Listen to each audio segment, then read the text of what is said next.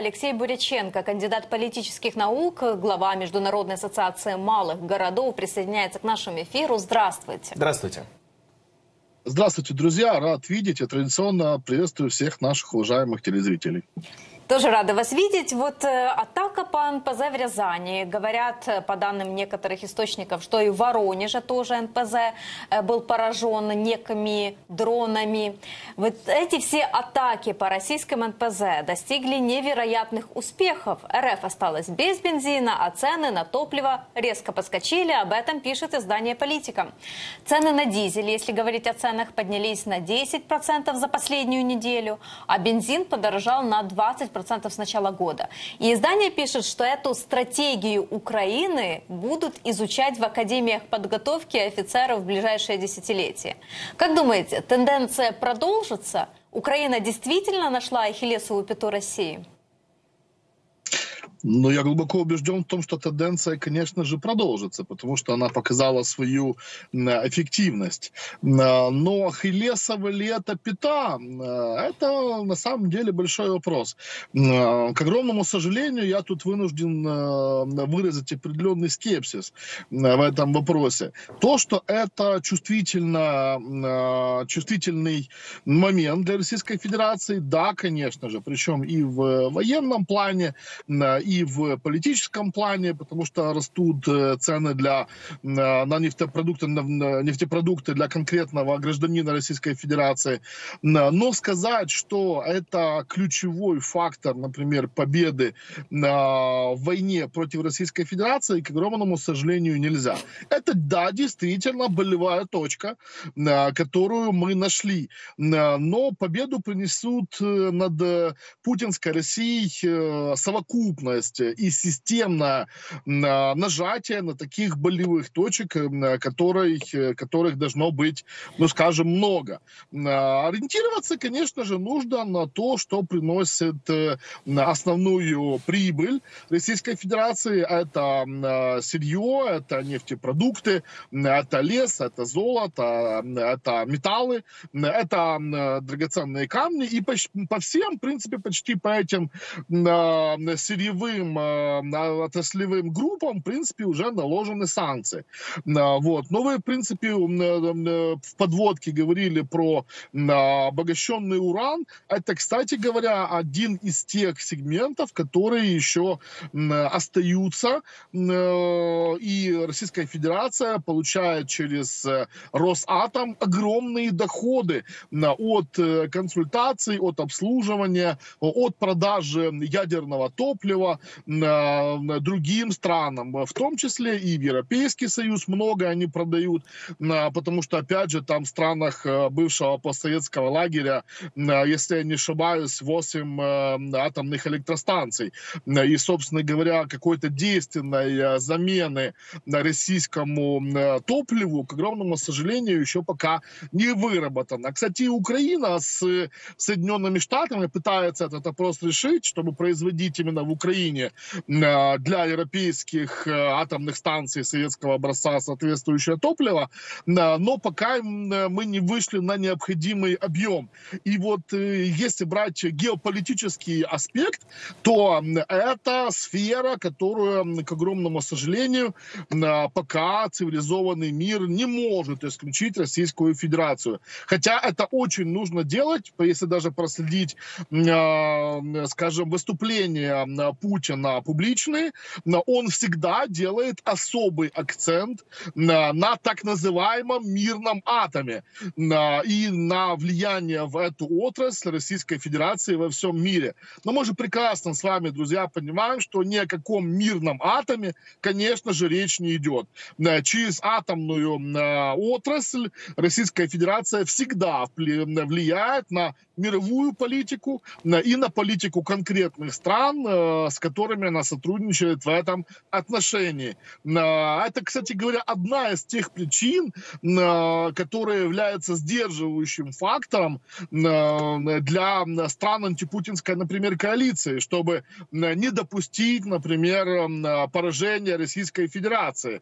Потому что именно в этом компоненте они пока не достигли да, каких-то компенсирующих соответствующих возможностей, чтобы обезопасить свою энергетическую составляющую на 100%. А по НПЗ, по НПЗ, конечно же, сейчас уже рядовой россиянин вынужден платить, например, да, там за бензин и за дизель в среднем больше от 10 до 20 процентов. Это, конечно же, приведет неминуемо к тому, что уже, кстати говоря, бензин запрещен экспорт Российской Федерации. Я думаю, что такие последствия запретят экспортные продажи и в том числе на дизель. Нужно понимать, что у Российской Федерации нет проблемы с сырьем, у них нет проблемы с сырой нефти. Вот. Но у них есть проблема с переработкой в данном случае, потому что наши ребята эффективно, собственно говоря, работают по этим объектам. Опять же, для понимания нужно ориентироваться, что примерно 70-75% всей нефтепереработки находится поближе к европейской части Российской Федерации. Почему так происходит? Ну, потому что плотность населения, собственно говоря, в этой части значительно больше, чем, например, в той же Сибири, да, ну вот, или на Дальнем Востоке. И второй компонент, что, конечно же, после удовлетворения внутреннего спроса Российская Федерация всегда не против была подторговать, собственно, компонентом нефтепереработки, как дизелем, так и бензином. Ну и, собственно говоря, еще один продукт нефтепереработки – это мазут. Он там на 95% экспортно ориентирован, и, и покупают это большие корпорации морские, которые используют в обработке суден вот этот продукт нефтепереработки.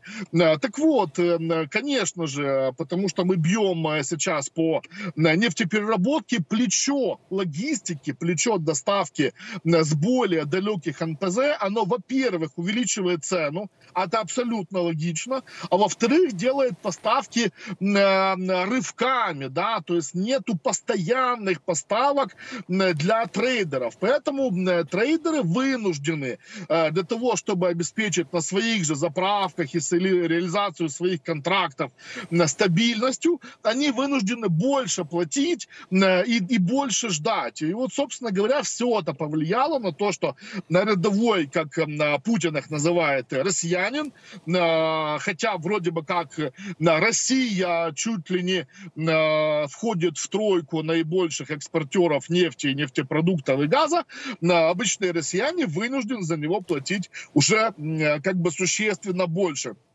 Повлияет ли это на позицию доверия и поддержки самого Путина? Конечно, да. Конечно, да. И это этот очень важный нюанс. Я глубоко убежден, что очень беспокоит Кремль и очень беспокоит самого Путина. Ну, потому что один вопрос э, где-то, скажем, получить провисание на фронте от э, перебоев нефтепродуктов. Откровенно говоря, своих э, граждан там никто не жалеет делает. Ну и а с другой стороны, конечно же, они не смогут реализовывать свои планы наступления в должном объеме, потому что они не, не понимают, можно ли рассчитывать на, на необходимое количество горючки, которое им надо. А мы прекрасно понимаем, сколько, извините за сленг, жрет, например, танк, БМП или БТР. Это огромные, огромные литражи, которые используются одной группировкой там в сутки. Поэтому Поэтому эти два компонента, военный и политический, настолько иннервируют Кремль, что они выходят там на американцев, ведут с ними переговоры для того, чтобы э, как-то э, наши союзники и партнеры повлияли на нас, чтобы мы как-то все-таки там ограничили э, возможность, э, так сказать, работы по э, российским НПЗ. Но глубоко убежден, что это наши абсолютно законные цели. Мы для этого не используем используем, во-первых, э, иностранное вооружение, э, вот, а во-вторых, это абсолютно зеркально, э, потому что если они обстреливают инфраструктуру Украины, то почему мы не можем обстреливать и их критическую, и в том числе энергетическую инфраструктуру? Мы же не бьем по мирным городам, мы же не бьем по мирным людям, как они это делают вот на наших глазах, Одесса, Херсон, Харьков и другие города. Мы работаем исключительно по тем объектам, которые влияют на, на положение, собственно, войск на поле боя. Это даже такая позиция регламентирована в международном законодательстве, которое регулирует войну, как допустимое, собственно, действие, которое стороны могут применять в военных действиях один против другого. Ну да, недавно и парламентская ассамблея Совета Европы тоже признала НПЗ России законными целями Украины. Давайте поговорим немного о доходах российского бюджета. Китайские компании отказываются от экспорта в Россию из-за проблем с платежами. Некоторые обращаются за помощью к мелким региональным банкам, к подпольным операторам платежей. Об этом пишет Reuters. И из-за политики, из-за угрозы, скажем так, вторичных санкций банки не соглашаются принимать э, платежи вот эти из России. Чем это обернется? Будет ли усугубляться ситуация и может ли все уйти вообще в тень? А, конечно же, э, тут э, два аспекта. А, первый, э, если трейдеры, если участники рынка подсанкционные продолжат работать, то просто у них перестанут покупать эту продукцию. Это же абсолютно логично.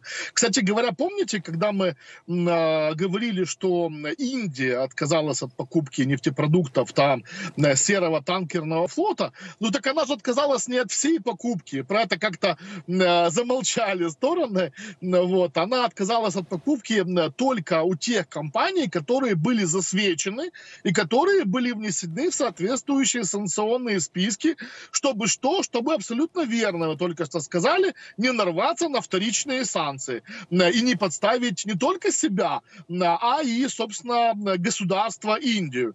Поэтому санкции работают 100%, но, э, э, так сказать, стороны эффективно их и обходят, с другой стороны. Это мы тоже видим э, воочию, да. Поэтому это будет такое постоянное, к огромному сожалению, противостояние, пока не будет введено абсолютно полное эмбарго. А мы же прекрасно понимаем, что до этого решения пока еще мировой политикум как бы, ну, не дозрел, да. Вот, поэтому, да, поэтому будут накладываться соответствующие вторичные санкции на государство, которые реализуют контрабанду, так называемую, да, подвойный импорт, на компании, которые реализуют э, те же самые нефтепродукты, как в Китае, так и в Индию. Кстати говоря, для информации, Китай сейчас вышел уже на покупку более 55% всего экспорта Российской Федерации сырой нефти. То есть как раз вот за счет э, дешевых ресурсов которые идут на рынки Китая и Индии, Китай раскручивает, собственно говоря, свою рецессионную экономику. Поэтому их взаимоотношения как бы и настолько носят рабочий характер, потому что не только Россия заинтересована в Китае, но и Китай в экономическом плане во многом сейчас заинтересован в сотрудничестве с Российской Федерацией.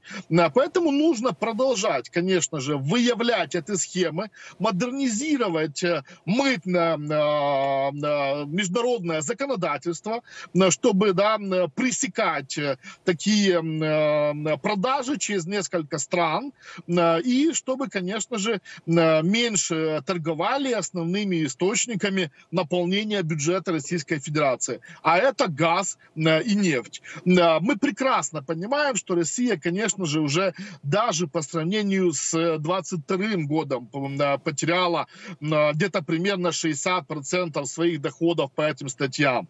Повлияло ли это на бюджет Российской Федерации? Конечно же, да.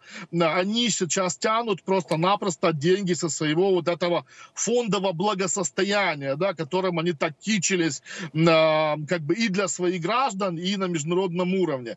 Им сейчас э, нечем похвастаться в экономическом плане. По всем основным э, э, строкам доходов их бюджет Российской Федерации, они очень сильно санкционно пострадали. Более того, по нефти и по газу, скорее всего, они уже никогда, даже если они сейчас капитулируют, да, и попытаются возобновить эти рынки, они уже никогда их возобновить не могут. Потому что, в принципе, на их места давно уже зашли, например, жиженый газ Соединенных Штатов, увеличили объем добычи, например, там в той же Норвегии. Очень активно работают саудиты и страны ОПЕК, плюс по замещению, собственно, российских нефтепродуктов на, на ключевых рынках, прежде всего в, в Европейском Союзе, на что и был рассчитан на 80%, я напомню, весь э, ресурсный экспортный потенциал Российской Федерации. То есть это уже в данный момент, когда по прошествию более там, двух лет полномасштабного нападения России на Украину, этот э, аспект уже носит невозвратный характер. И мне кажется, в Российской Федерации, конечно же, это все уже осознают и пытаются просто выжить сейчас, мутить теневые схемы, там переназывать танкера, менять их флаг с Российской Федерации там на какие-то африканские страны и так далее и тому подобное, чтобы просто держаться на плаву, чтобы зарабатывать хоть, хоть какие-то, собственно говоря, деньги. Э, так, прошу прощения. Ой, не знаю, слышу вас. Да, да, да, да, слышно. Мы вас слышим, да. А, да, прошу прощения, Ничего. звонок прошел. Ну вот, ну, собственно говоря, в этом вопросе, я думаю, мы уже достаточно осветили э, все проблемы, с которыми сталкивается Российская э, Федерация, э, и те перспективы улучшения в этих компонентах, которые есть у стран антипутинской коалиции, в том числе, конечно же, по инициативе Украины, потому что та же группа Ермака Макфола, которая работает уже несколько лет по этой тематике, Америки, как по расширению действующих санкций, так и по модернизации, расширению новых санкций, так и по модернизации действующих, очень плотно работают как с Европейским Союзом, санкционной, соответственно, комиссией, так и с Соединенными Штатами. Поэтому нам просто нужно профессионально, дотошно и системно продолжать лупати цю скалу, як ти кажуть. Буквально маленькое уточнение. Вы вспомнили о переименовании танкеров в Комфлот, э, флаг Габона уже вешают вместо российского. Это поможет? Да. А, временно поможет. Вот такой да, короткий ответ на ваш короткий вопрос. Ну, конечно же, но э, после верификации этих суден, а это ж как бы в морском деле, это тонажность, в общем, каждое судно, по большому счету, индивидуально. Ну, вот, и не проблема абсолютно определить, что это судно раньше было в Российской Федерации и возило нелегальную нефть, да, вот эту Э, теневого нефтяного флота. А сегодня оно поменяло флаг, поменяло регистрацию и возит ту же самую нефть, что она возила и раньше. Но, конечно же, на это понадобится определенное время для вот этой соответствующей верификации.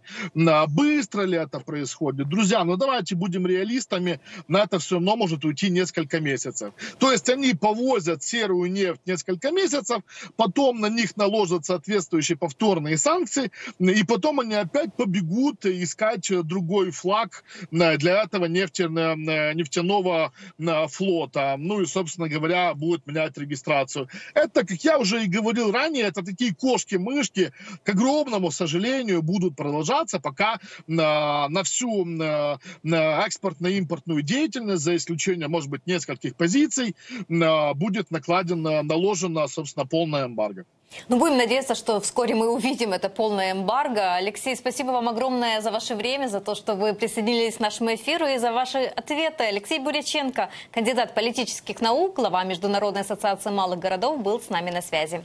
Вся правда о войне России против Украины. Узнавайте оперативные новости первыми в телеграм-канале Freedom. Freedom – только то, что действительно важно знать. Подписывайтесь, ссылка в описании.